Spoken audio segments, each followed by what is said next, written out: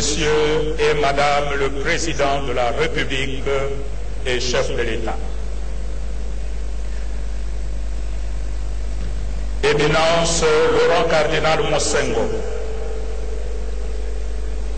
Excellence Monseigneur le nonce apostolique et tous les évêques. Chers frères et sœurs dans le Seigneur, en ce, trois- en ce 33e dimanche du temps ordinaire, journée consacrée aux pauvres, journée mondiale des pauvres. Nous sommes rassemblés pour écouter la parole de Dieu et rendre grâce au Seigneur pour ses merveilles. Dans son infinie bonté et sans aucun mérite de ma part, il m'a élevé à la dignité cardinalice. Que son nom soit glorifié à jamais.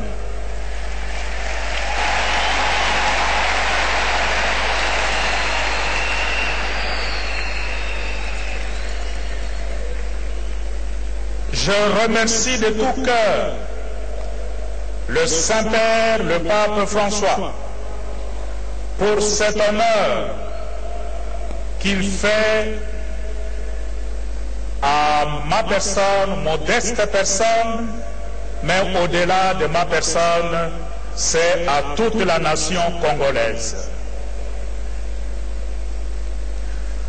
Je reste particulièrement reconnaissant envers le chef de l'État, ici présent, et qui était aussi présent lors du consistoire à Rome.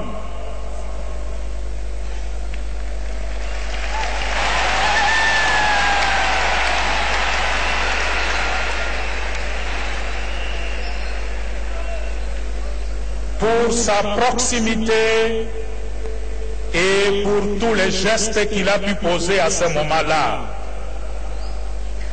Merci de tout cœur à toutes les autorités politico-administratives, civiles, militaires et religieuses de notre pays.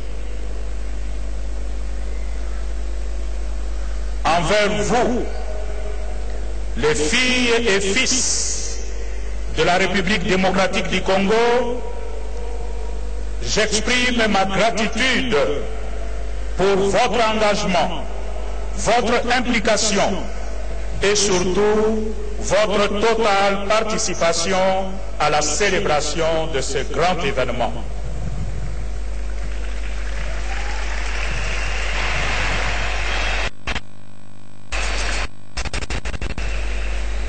Un remerciement particulier à nos frères et sœurs venus de l'extérieur, notamment de la République du Congo, une forte délégation conduite par les évêques de la République du Congo pour manifester leur sollicitude, leur fraternité avec le peuple congolais de l'autre côté du fleuve.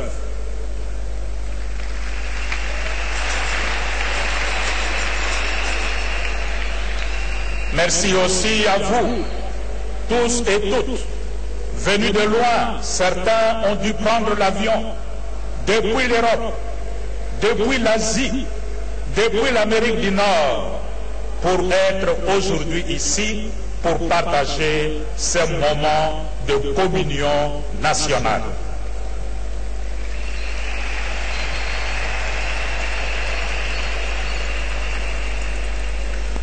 Chers frères et sœurs, le cardinalat est certes un honneur, Mais le cardinalat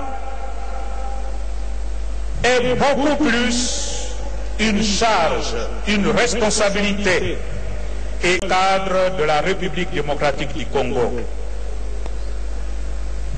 Le cardinal étant le conseiller privilégié du Saint-Père pour le gouvernement de l'Église universelle. À ce titre, il est aussi le grand conseiller de la République pour son pays, pour son peuple.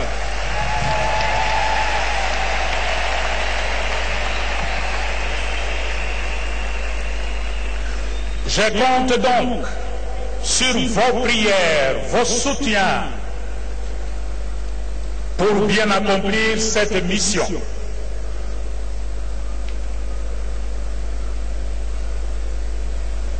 D'ailleurs, la parole de Dieu que nous venons d'entendre nous éclaire sur quelques aspects de cette mission. Et au cœur de la parole de Dieu, il y a ce message central, fondamental,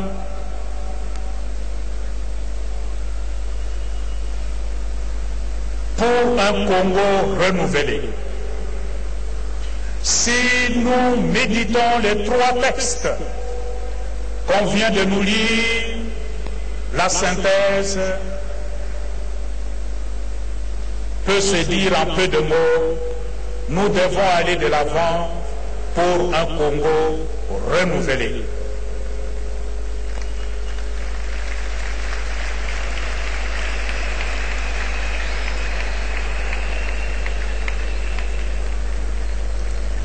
De la première lecture tirée du livre du prophète Malachi, nous recevons le premier enseignement que le Seigneur nous donne aujourd'hui. Nous y voyons l'engagement de Dieu à plus de fraternité, à plus de solidarité entre les hommes.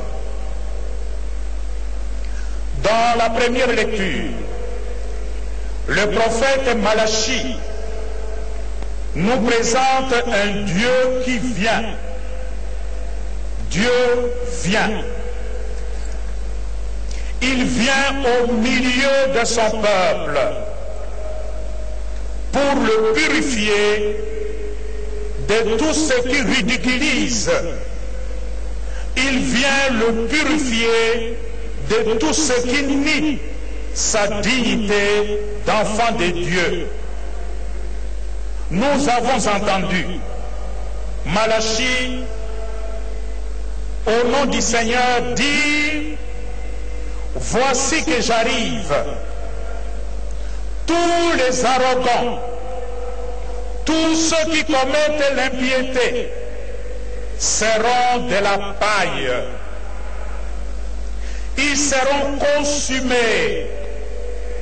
Il ne leur restera ni racine ni branche, dit le Seigneur de l'univers. Mais pour vous, vous mes fils, vous mes filles, qui craignez mon nom, le soleil de justice se lèvera.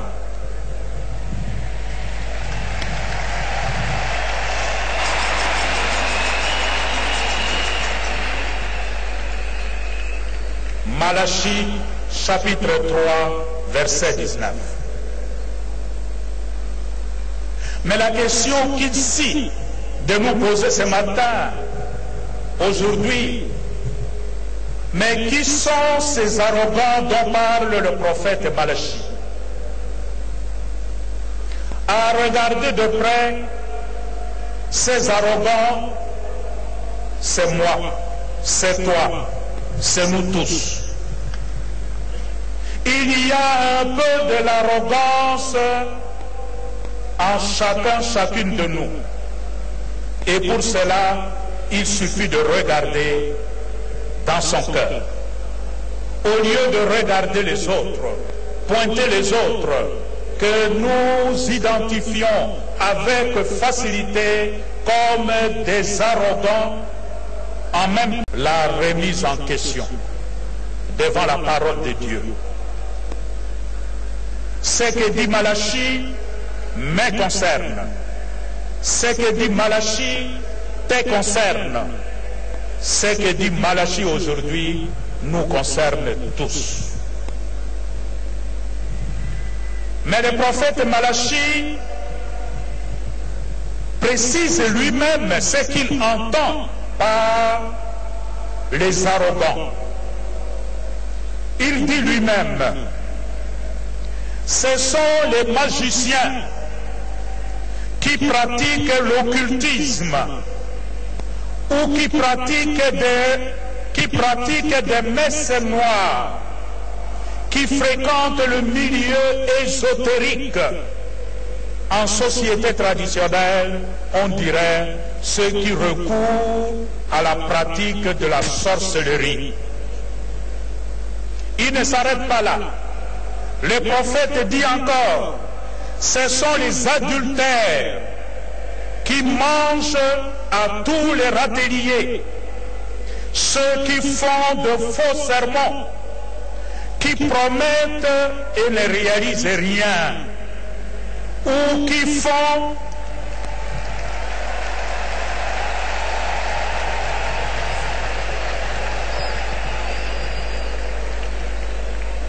ou ceux qui font exactement le contraire de leurs promesses.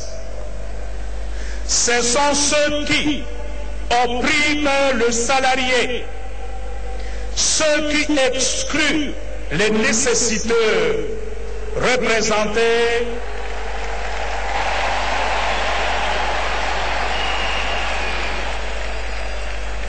représentés par la veuve l'orphelin et l'immigré, l'étranger. Confère Malachi 3, 5. Les arrogants marchent sur le petit. Ils marchent sur les pauvres qui sont devenus les marchepieds. Ils exploitent le petit les travailleurs comme ils veulent.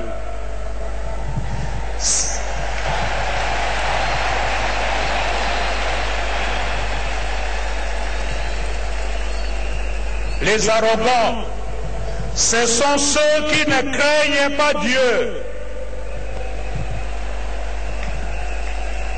Ceux qui se bombent la poitrine et se considèrent comme des dieux. Ceux-là qui veulent qu'ils soient craints, voire adorés comme s'ils étaient des dieux. Ils vont même jusqu'à croire qu'ils peuvent tromper Dieu. Or Dieu, personne ne peut le tromper.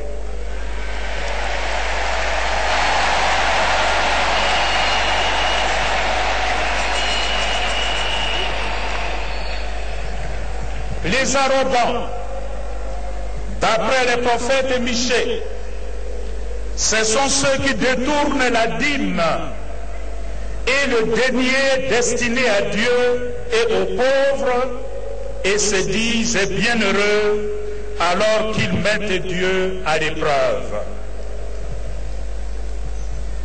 En venant parmi nous, le Seigneur s'engage donc à faire disparaître du milieu de nous toute forme d'injustice causée par les arrogants. Dieu se met du côté des pauvres, des exclus, des exploités. En d'autres termes, la venue de Dieu dans notre monde engendre la fraternité mise à mal par les arrogants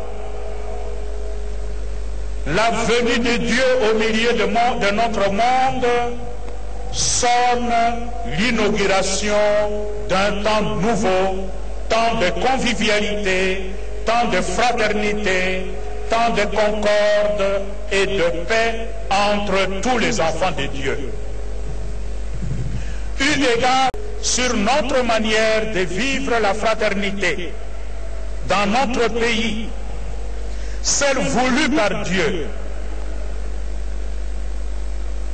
là où nous avons été placés à côté de nos frères et nos sœurs, là où j'ai reçu une parcelle de responsabilité, comment j'exerce cette notion de fraternité comme le Seigneur le veut. Quel traitement réservons-nous les uns aux autres? Sommes-nous du côté des arrogants? Sommes-nous du côté des craignants Dieu? La qualité de notre fraternité en dépend. Premier enseignement. Deuxième enseignement. Nous le tirons de l'évangile que nous venons d'entendre.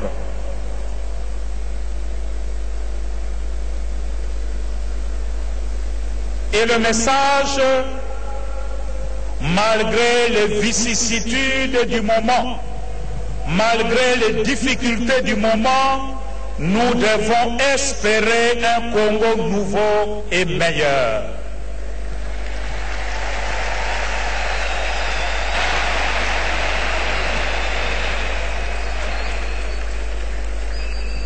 L'évangile d'aujourd'hui nous parle de la destruction du temple de Jérusalem.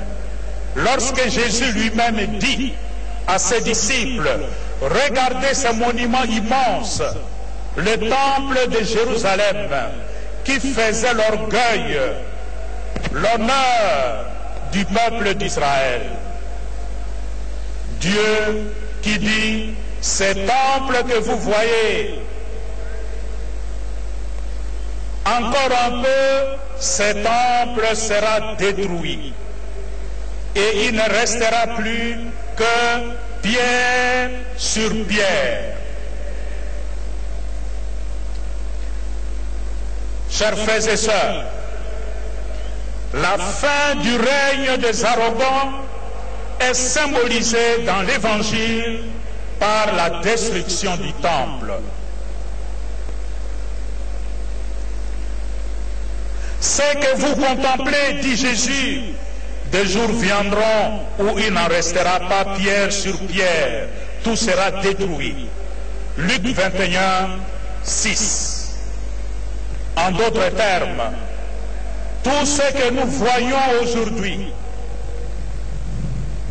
ce n'est que du provisoire, comme nous l'a si bien enseigné Coëlette. Vanité de vanité, tout est vanité.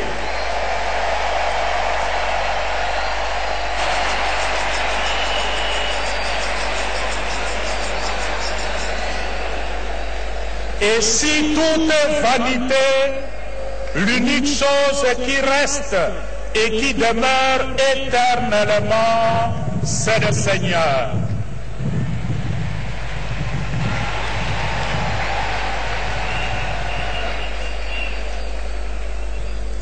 Le Christ, notre Seigneur, met ainsi en garde contre le culte extérieur qui n'est pas un culte qui sort du cœur.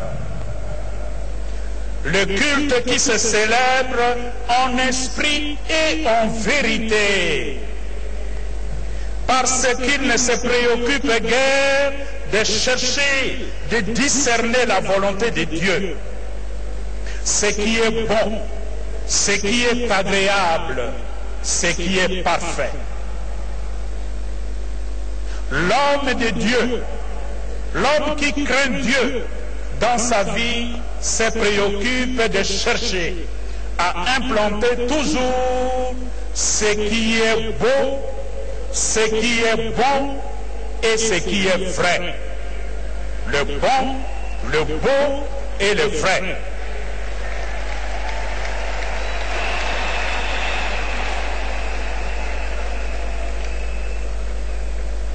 Romains 12, 2.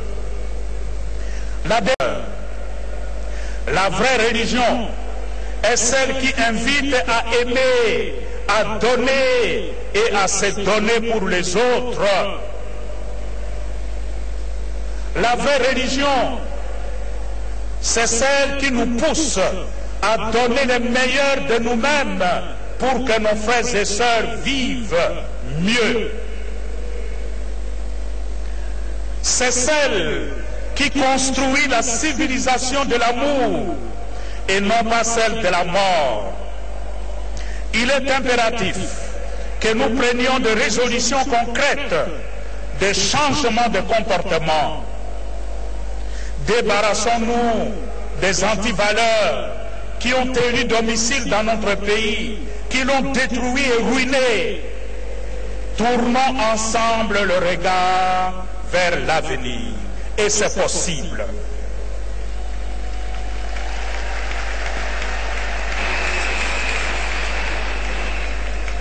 Pour cela, troisième enseignement, et c'est le dernier, la responsabilité. La responsabilité.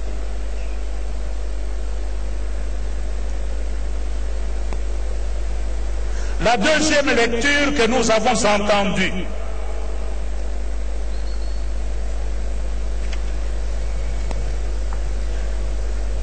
Tirée de la deuxième lettre de Saint Paul aux Thessaloniciens,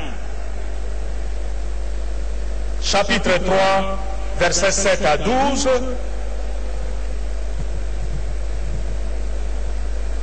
nous annonce que le temps de responsabilité est arrivé.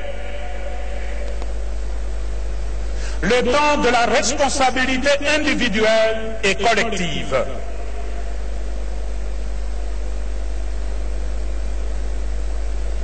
L'apôtre Paul interpelle vivement les Thessaloniciens qui sombraient dans la paresse les, Thessaloniciens qui brillaient par leur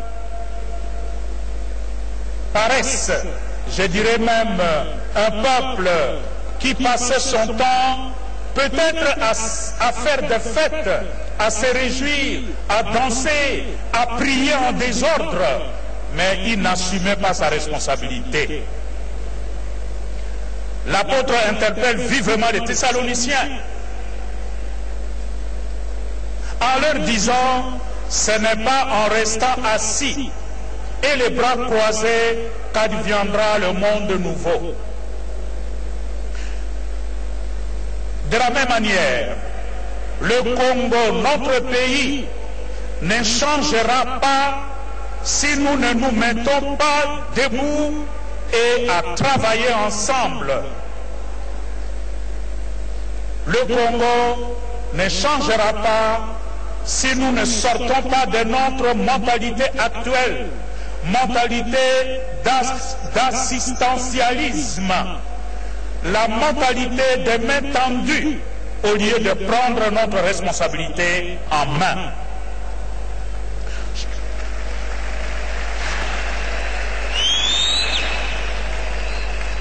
chacun, chacune, en suivant l'exemple de Paul lui-même, doit travailler. Travailler de ses mains pour vivre et faire vivre dignement sa famille. Car travailler est une vocation. Le travail est une vocation parce que le Dieu qui nous a créés, il nous a créés par le travail. Et il nous a confié cette mission. En travaillant, l'homme accomplit sa dignité d'homme. Le travail est une mission, est une vocation dans sa double mission je dois travailler d'abord pour subvenir à mes besoins et aux besoins de ma famille. Et quand bien même j'aurai tout ce qu'il faut pour vivre pour moi injustement, et cela depuis quelques années comme un peuple paresseux, un peuple qui ne travaille pas. Si nous n'assumons pas notre responsabilité par le travail, nous resterons toujours la risée du monde.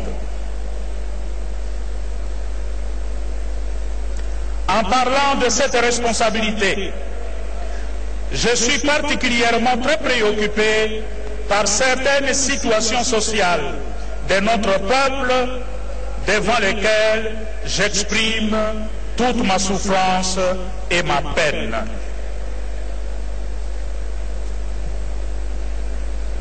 Premièrement, le projet de la gratuité de l'enseignement des bases dans notre pays.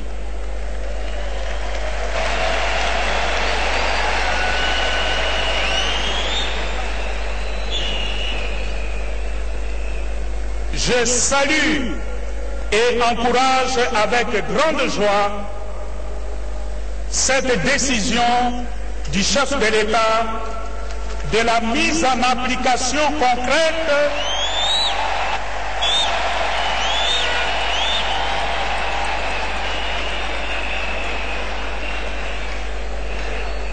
de la mise en application concrète et complète de cette disposition constitutionnelle. C'est ce que l'Église catholique souhaitait et appelait de tous ses voeux depuis de très longues années. Cependant, pour ne pas compromettre ou hypothéquer cette noble décision, la gratuité de l'enseignement doit être encadrée par des mesures conséquentes.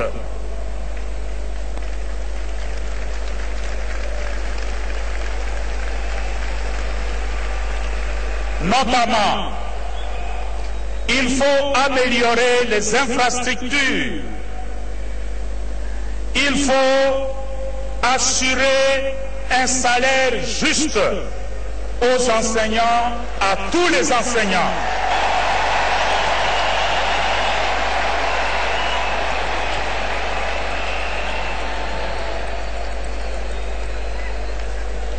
Le versement conséquent des frais de fonctionnement aux chefs d'établissement et aux gestionnaires.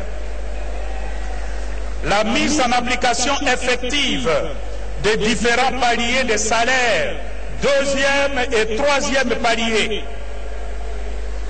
Il faut, pour que la gratuité devienne une réalité, clarifier la situation des enseignants dits nouvelles unités et de non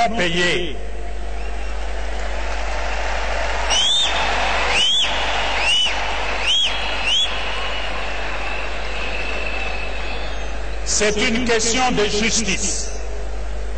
Tout enseignant qui travaille et qui est reconnu par l'État a droit à son salaire.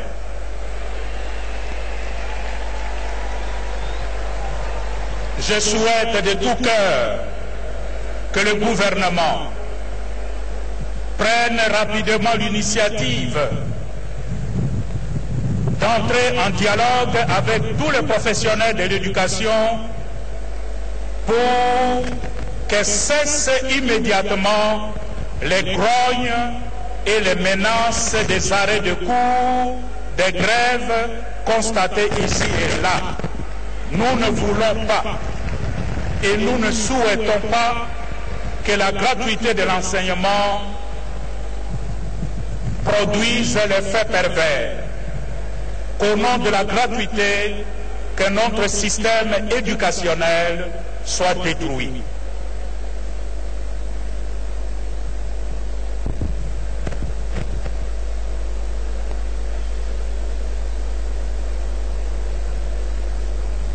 Deuxième préoccupation.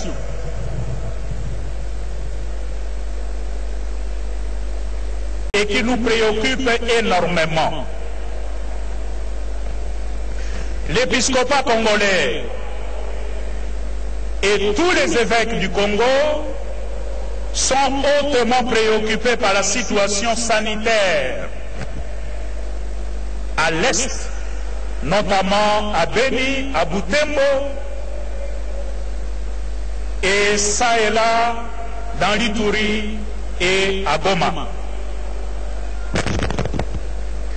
Avec cette maladie à virus Ebola qui ne cesse de compter ses victimes,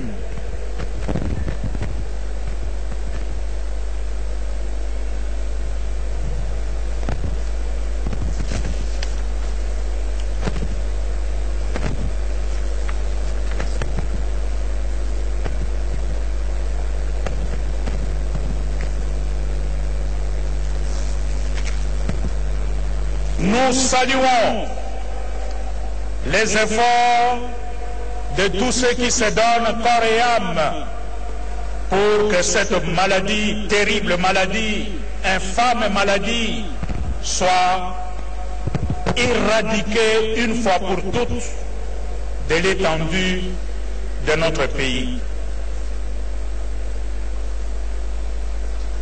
Je pense ici en particulier à un homme, un Congolais, un fils de ce pays, le professeur Mouyembe, pour tout ce qu'il est en train de faire à l'est du pays.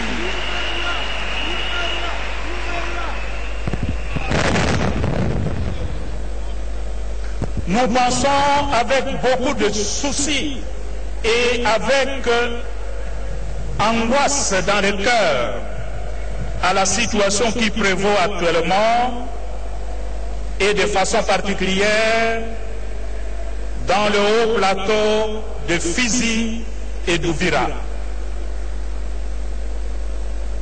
où se servant et animant de conflits entre nos différentes communautés, des troupes armées, parfois étrangères, se battent sur notre sol, sur notre territoire. Temps de populations qui ont toujours vécu ensemble dans la préoccupation, dans la douleur, dans le pleur. Il y a des peuples qui pleurent de ce côté-là. Et ce sont des peuples qui ont toujours vécu ensemble. Les informations qui nous parviennent de ce côté-là donnent l'impression que nous qu'on prendrait plaisir, certains d'entre nous prendraient plaisir à vivre éternellement dans des conflits, alors que vivre en paix avec les autres est la nature intrinsèque de l'être humain. Nous ne sommes pas faits pour vivre éternellement en conflit avec les autres. L'être humain est fait pour vivre en paix les uns avec les autres. Naturellement, nos rapports doivent se fonder sur le respect mutuel et sur la justice sociale. Malheureusement, cette persistance cette crise persiste depuis de longues et pénibles années, comme si c'était une situation voulue et volontairement organisée par une poignée de personnes qu'on qualifierait des arrogants. C'est la cause de profondes douleurs dans notre cœur de pasteur.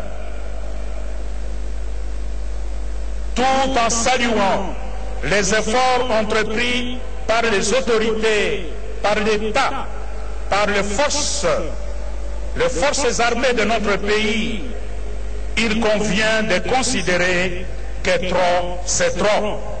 Cette situation dure depuis très longtemps et il ne nous manque pas d'intelligence nécessaire pour asseoir les uns et les autres pour qu'enfin une solution puisse se trouver et que vivre en paix.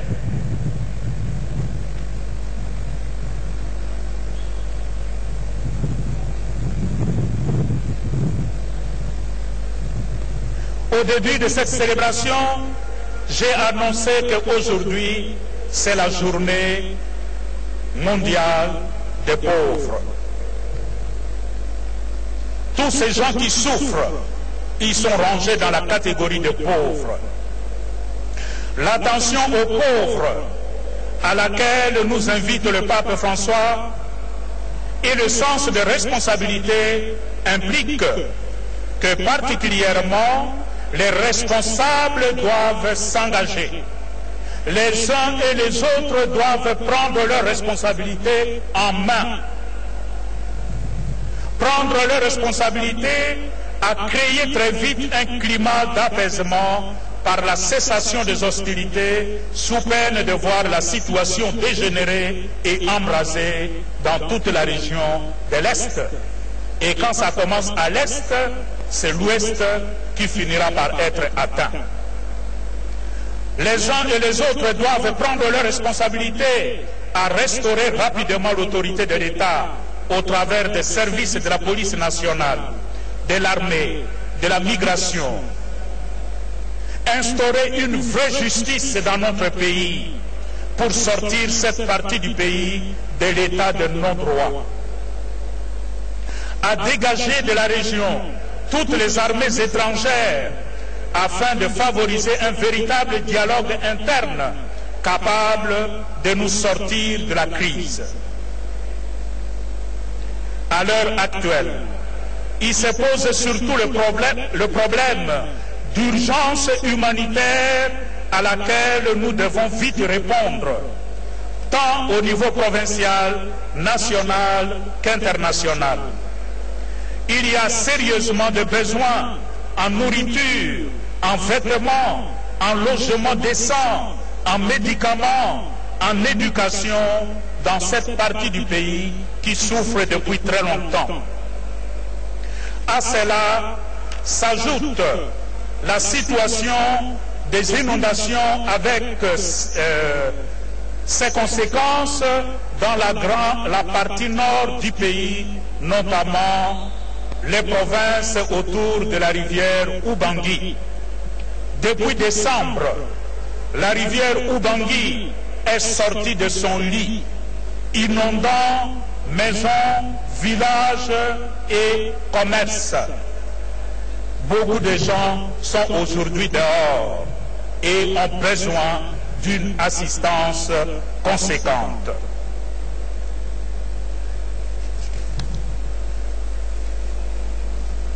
Chers frères et sœurs,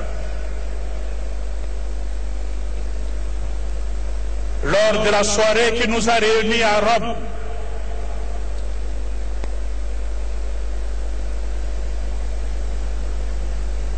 tout le monde était frappé de la communion qui régnait entre le fils et fille du Congo autour du cardinalat.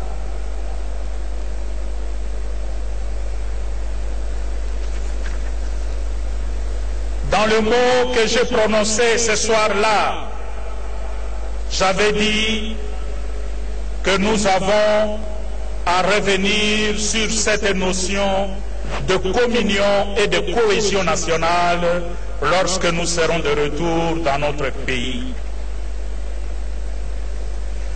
Ces bel exemple de communion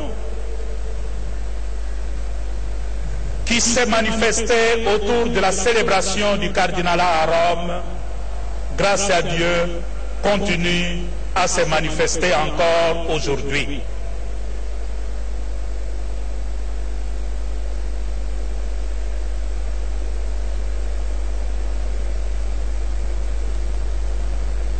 il n'est pas normal, dans ces contextes de communion, de sursaut de nationalisme, qu'il y ait encore certains de nos frères, de nos sœurs, qui passent leur temps à se quereller autour de futilités.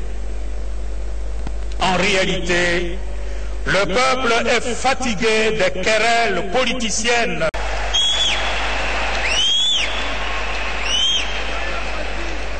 Le temps des querelles est révolu. Il y a de nouveaux responsables qui sont en charge. Et quand vous êtes en charge, ne passez pas votre temps à vous quereller inutilement autour de futilités.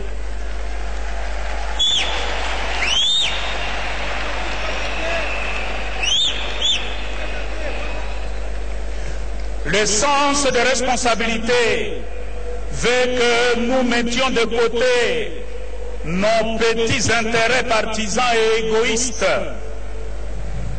pour nous concentrer et nous engager sur l'essentiel qui est l'avenir de notre peuple. Nous devons chercher comment créer ensemble les conditions d'un nouvel avenir rassurant pour notre peuple qui n'a que trop souffert. Au-delà de nos divergences légitimes, nous réussirons ces paris si nous nous mettons ensemble autour des valeurs fondamentales qui fondent une vraie nation. La justice et la paix la fraternité sans frontières et la communion, l'entente et la concorde, l'honnêteté et la vérité, surtout l'attention aux pauvres et aux plus petits. J'en suis persuadé, frères et sœurs, l'unité de tous autour d'un même objectif, à savoir l'amélioration des conditions de vie de tout le peuple congolais est l'unique gage de notre bonheur collectif. Et le Seigneur veut ainsi.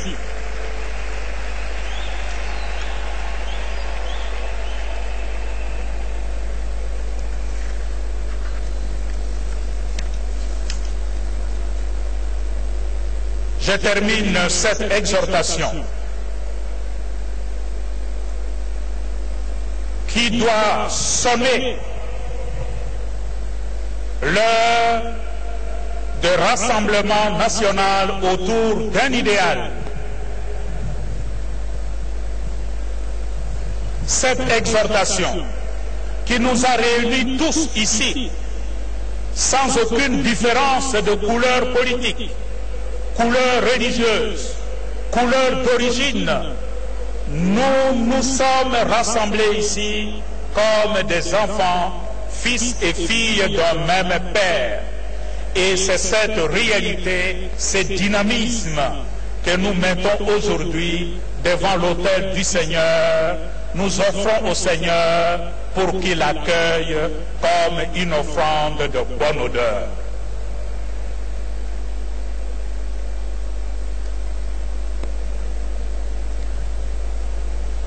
Je termine ainsi cette exhortation en recommandant notre pays et chacun de vous à l'intercession bienveillante de la Vierge Marie qui par son fiat s'est rendue disponible à la volonté de Dieu. Amen.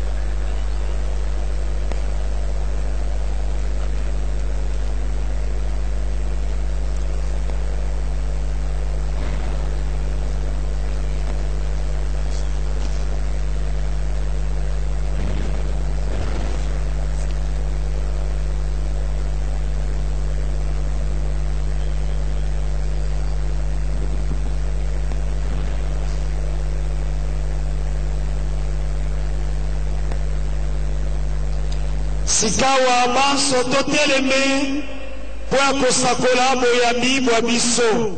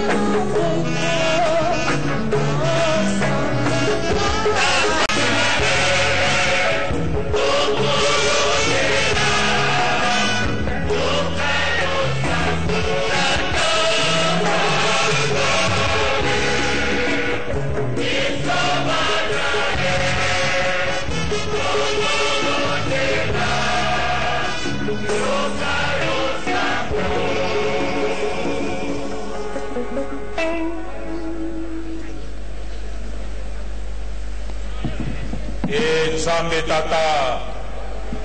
Awa tondimisango elamu ya yesu tokomi bana bayo ondima losambo na biso okombo ya yesu kristu mokonzi wa biso o bileko bi sans seko amen. Baso tovandi.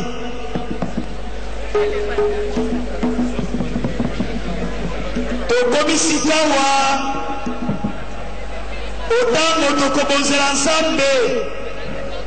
Mbuma ya misalami ya biso na bopesi mabonza.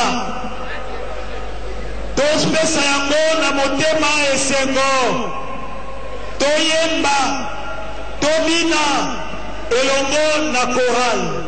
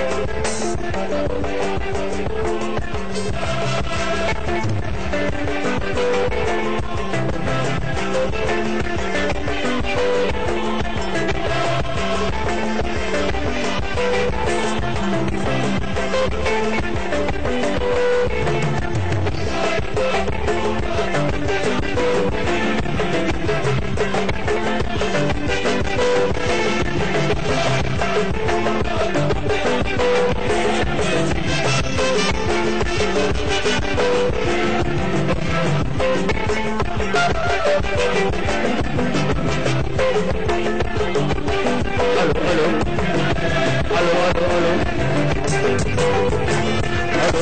aló.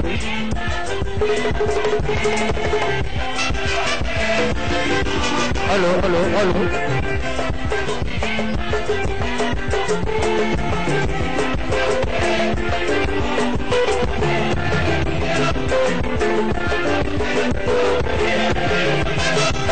Thank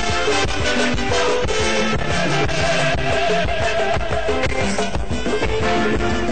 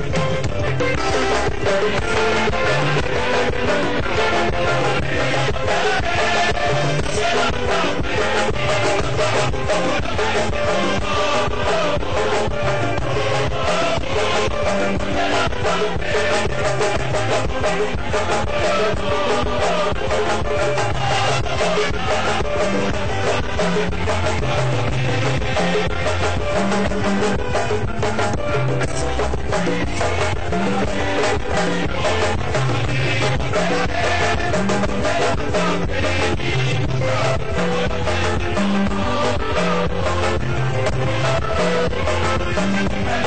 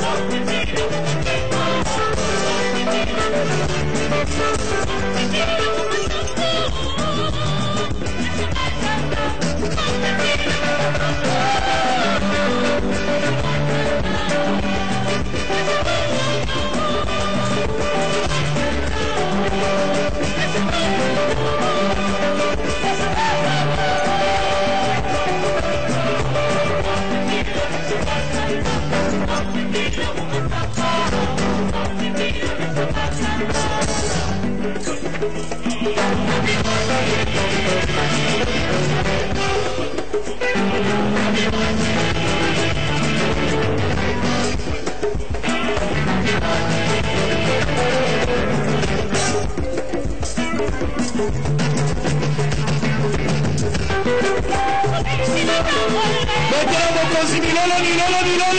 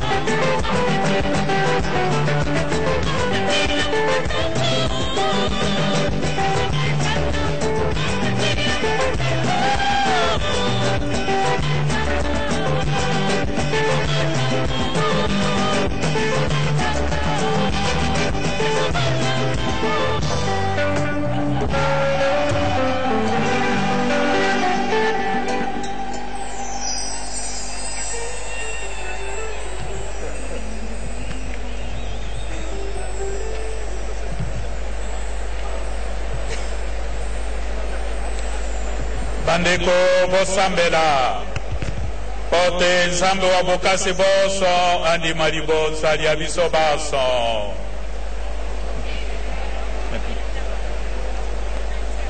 oya lokumu la kombo ya ye oya bolamu bwa biso mpe mpo ya bolamu bwa eklesia mobimba.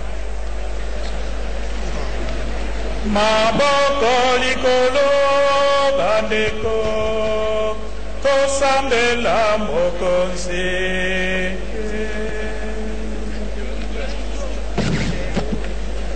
E mokonzi nzambe wa biso.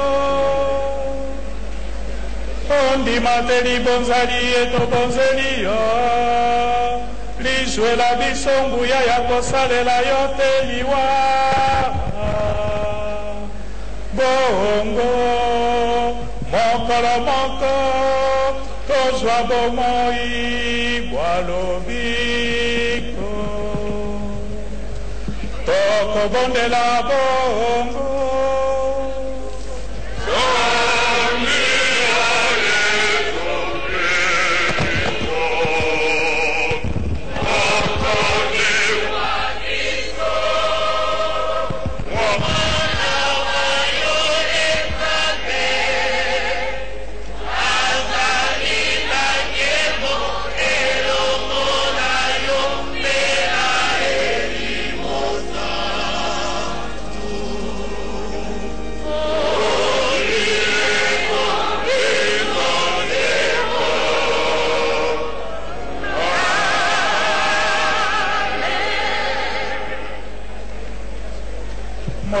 Once asalan abinu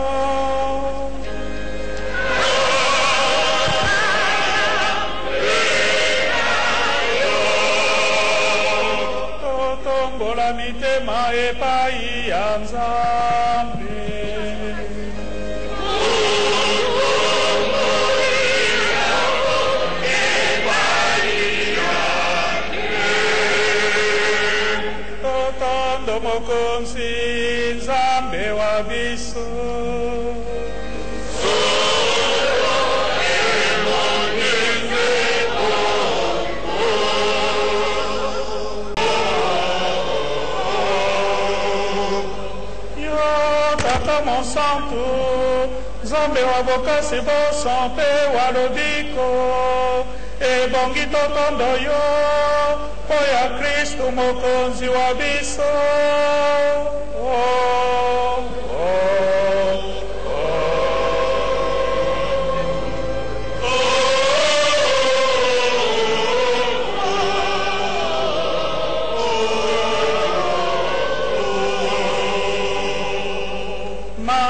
Sikaya likamwa solo. Tozalaki baoko baliwa mpe balisumu. Abyangi biso tosangana na ye obomoi bwa nkembo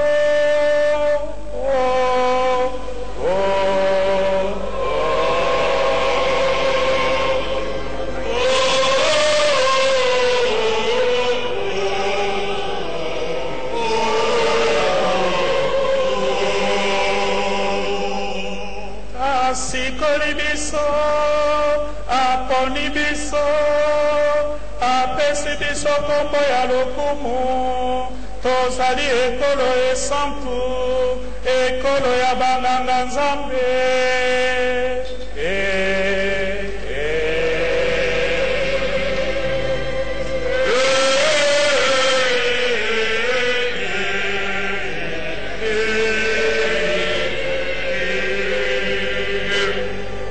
tokosakola o mokili mobimba misala minene osalaki olongoli biso molili okotisi biso mwinda mwayo yango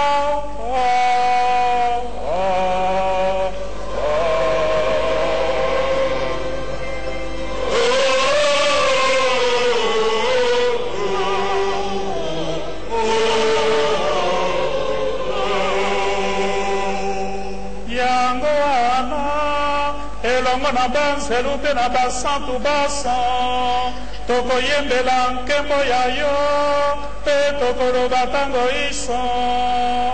Yo mosantu yo mosantu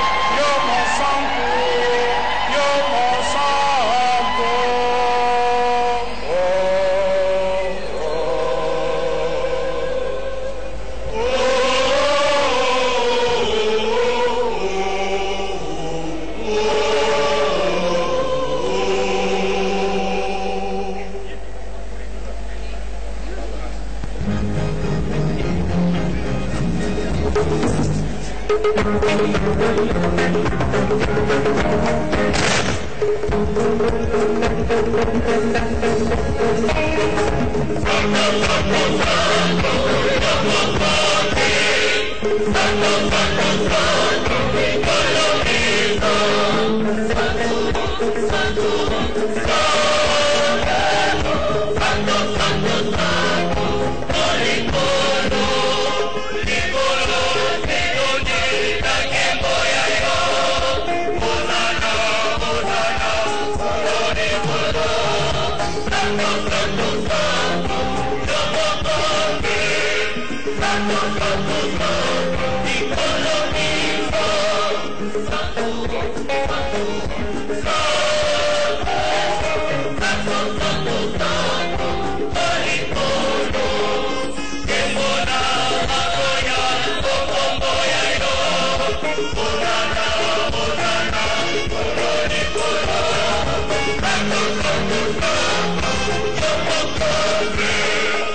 Follow me, follow me, follow me.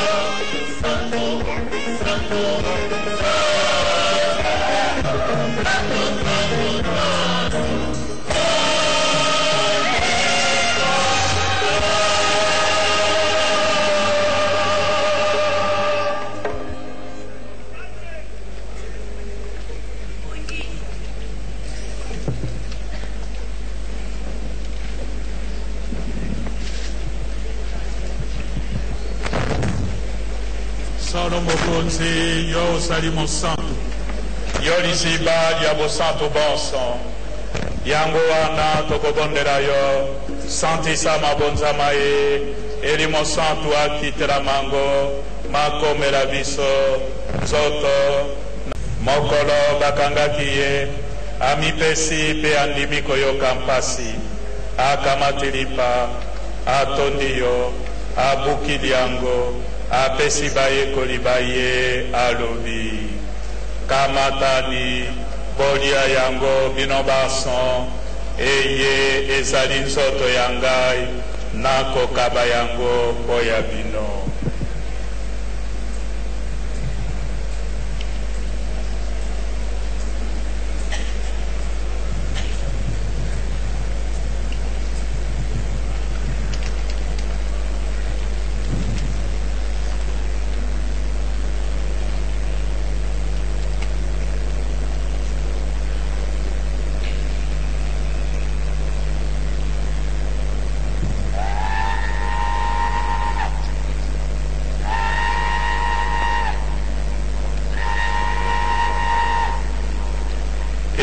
esilisi bango kolia akamati mpe nkeni atondi yo lisusu apesi bayekoli baye alobi kamatani bolia yango bino baso eye ezali eye ezali nkeni ya makila mangai makila mabondeko bwa sika mpe bwa seko makosopana mpo ya bino mpe mpo ya bato banso na ntina te bozwa bolimbisi bwa masumu.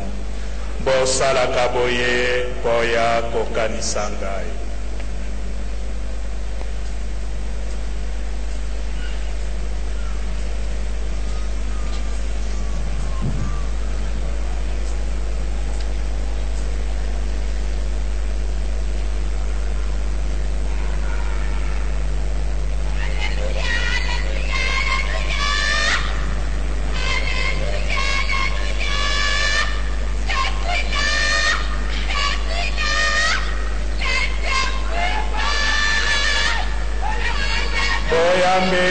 Salve soba Cristo, na bomba, mamãe.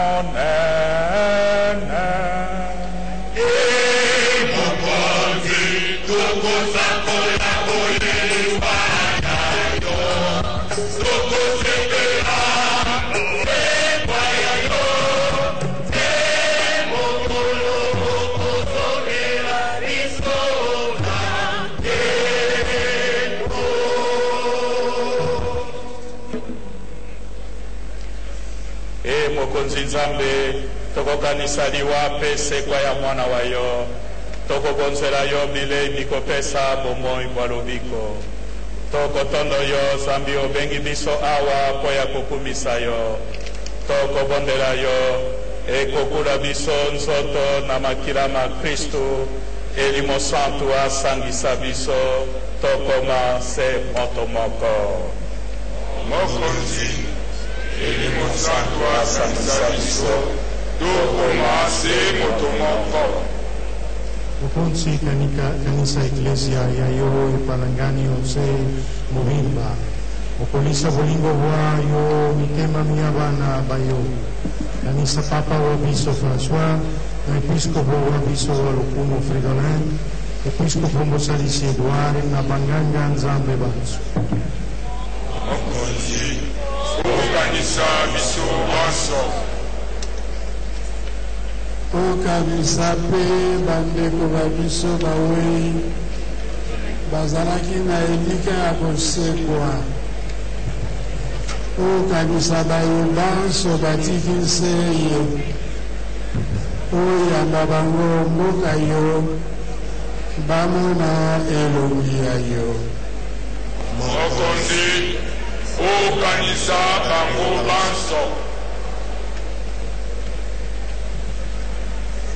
dopo Bondelaio, quello che l'abisso basso bala, quello che l'abisso omoi guassico, e lungo la mondo Santa Maria, dopo la Zambi, e lungo la Santo Giuseppe, quello che ne vai, e lungo la apostolo pena bassato da, da io ne ho basso, qua essendo marito mattina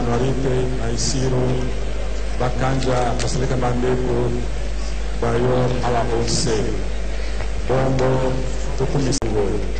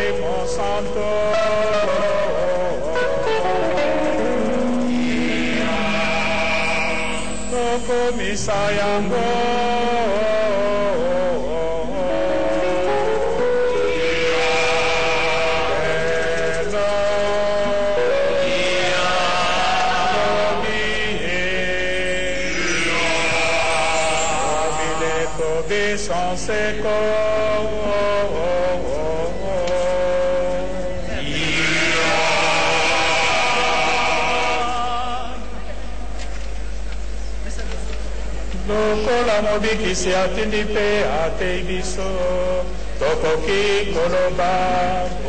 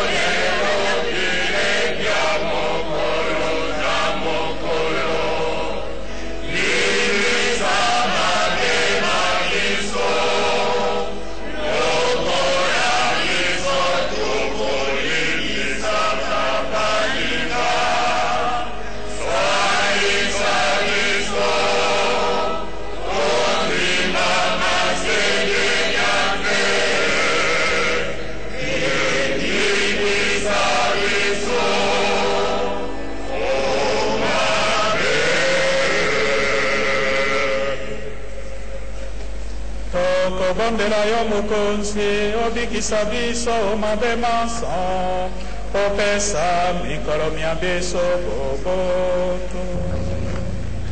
Na lisaliseli ya ngolu ya yo toboya masumu nseko mpe makambo makwela biso te. Tozala na elikya ya koyoka esengo yo olakelaki biso Mwanamokolo Yesu Kristo Mokonzi wa viso akoso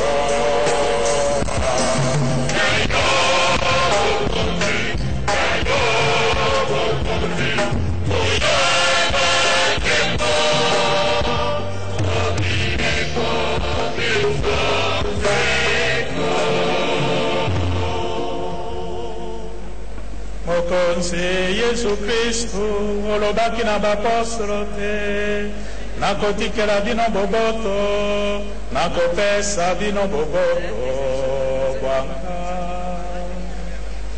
kotala masumu ma biso te. Kasi tala boyambi bwa eklesia ya yo. Pesa yango boboto mpe komisa yango libota lyoko yo ozali mokonzi obileko biso nseto.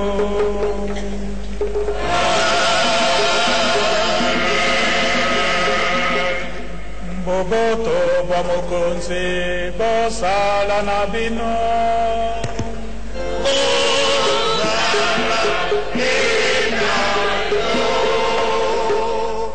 Bandeko ya bolingi kristu banso botombela na boboto